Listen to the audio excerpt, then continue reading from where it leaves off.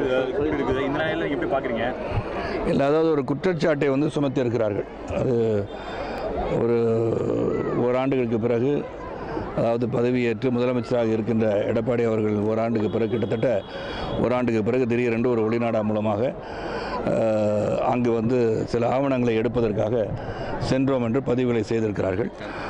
முதலமைச்சர் அவர்களும் அதை மறுத்திருக்கிறார்கள். அது வேண்டுமென்றே இது வந்து என் மீது சுமத்தப்படுகின்ற பழி என்று அவர் சொல்லியிருக்கிறார்கள். எந்த ஒரு குற்றச்சாட்டும் நிரூபிக்கும் வரை அவரை குற்றவாளி என்று நாம் எடுத்துக்கொள்ள முடியாது. ஆக நிரூபணம் செய்வதற்கு அவகாசம் இருக்கிறது. அதை முதலமைச்சர் அவர்களே ஒரு விசாரணை கமிஷன் வைத்து அதை நிரூபணம் செய்தால் சிறப்பாக இருக்கும் என்று என்னுடைய கருத்து. நாடாளுமன்ற தேர்தலில்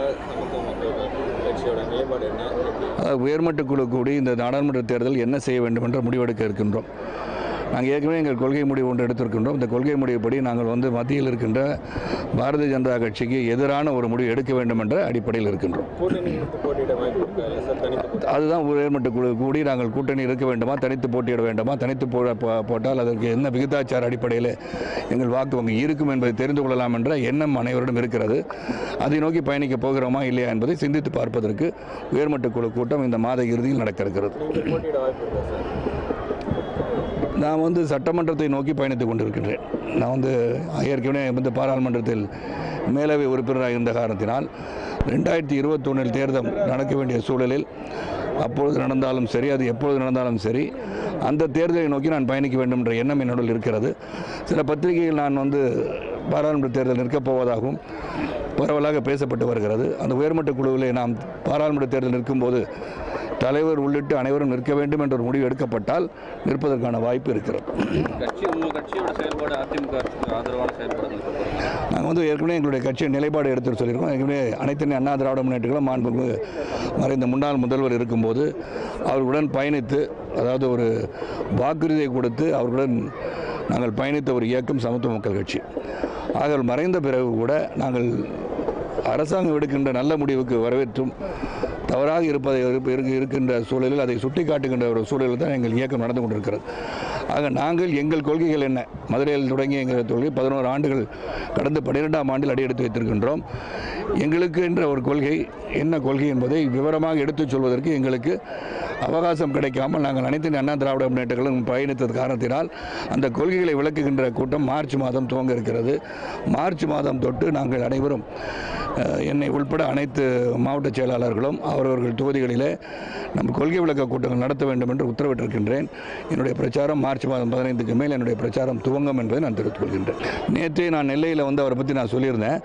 அதாவது இது வந்து உள்ளாட்சி தேர்தல் நடக்கிறதோ இல்லையோ உள்ளாட்சி மன்றத்தில் வந்து தேர்வு செய்யப்பட்ட உறுப்பினர் இருக்கிறார்களோ இல்லையோ இந்த ஒரு நிலைப்பாடை அவர் எடுத்திருந்தார்கள் என்றால் ஏற்கனவே இது போன்ற கிராம சபைகளை நடத்திருந்தார்கள் என்று சொன்னால் இது புதிதாக தெரியாது.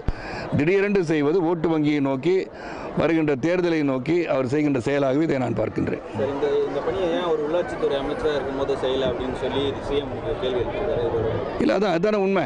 அதாவது ஏற்கனவே ஒரு கொள்கை முடிவெடுத்து நாங்கள் வந்து பதவியில் இருந்தாலும் இல்லாவிட்டாலும் மக்களை சந்தித்து மக்கள் குறைகளை கேட்போம் என்று சொல்லி ஏதாவது ஒரு இடத்தில் அமர்ந்து இது போன்ற செயல்பாடு ஈடுபட்டிருக்கிறார்களா என்று கேட்டால் இல்லை என்ற பதில் தான் வரும். அந்த விதத்தில் பார்க்கும்போது இது ஓட்டு வங்கியை நோக்கி செய்கின்ற செயலாகத்தான் அதை நான் பார்க்கின்றேன். உங்களுடைய நண்பர்கள் ஒருத்தர் கட்சி ஆரம்பிச்சிட்டாரு இன்னொருத்தர் கட்சி ஆரம்பி அவங்களோட இணைந்து செயல்படுறது. எந்த நண்பர்கள்? கமல் ரஜினி. அதாவது என்னுடைய கொலீக்ஸ் நண்பர்கள் என்று ஒரு சிலர் தான் என் வாழ்க்கையில் இருக்கிறார்கள். என்னுடன் பயணித்தவர்கள். இந்த தொழில் தொழில் ரீதியான அவர்களோடு இணைந்து செயல்பட்டதை தவிர அந்த மாதிரி திட்டம் கிடையாது. நான் வந்து அரசியல் 22 வருஷம் இருக்கேன். அவங்க வந்து ஆறு மாதம் வந்திருக்கலாம். ஒரு ஒன்றும் வரல. ஒருத்தர் வந்திருக்கார். ஸோ என்னுடைய அரசியல் அனுபவம் வந்து 22 ஆண்டுகள்.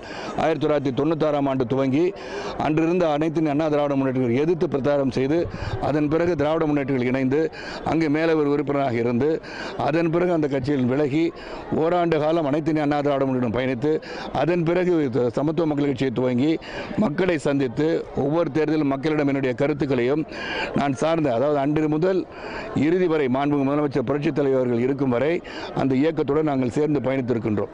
ஒரு உறுதியான முடிவை எடுத்து பயணித்திருக்கிறோம். தற்போது எங்கள் நிலைப்பாடு சமத்துவ மக்கள் கட்சியின் கொள்கைகள் என்ன மக்களிடம் எடுத்துச் செல்ல வேண்டிய சூழல் இருப்பதால் எங்கள் கொள்கைகள் தொலைநோக்கு சிந்தனை இருக்கிறது அடிப்படையில் நாங்கள் பயணித்துக் கொண்டிருக்கின்றோம். தொழில் ரீதியாக உங்களுடைய பயணித்தவர்கள் நண்பர்கள் கிடையாது. கண்டிப்பாக நண்பர்கள் கிடையாது. தொழில் ரீதியாக பயணித்தவர்கள் தான் எல்லாரும்.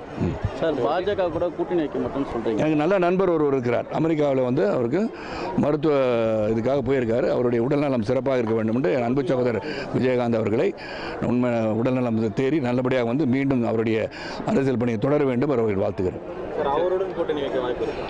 அதான் சொல்லியிருக்கேன் ஏற்கனவே அவருடைய நாற்பது ஆண்டு கலைப்பயணத்தின் இந்த மேடையிலே சொல்லியிருந்தேன். அப்படி ஒரு நிலைமை வந்தால் அவருடன் கூட்டணி வைப்பதில் எனக்கு ஒன்றும் ஆட்சேபனை இல்லை என்று சொல்லியிருக்கேன்.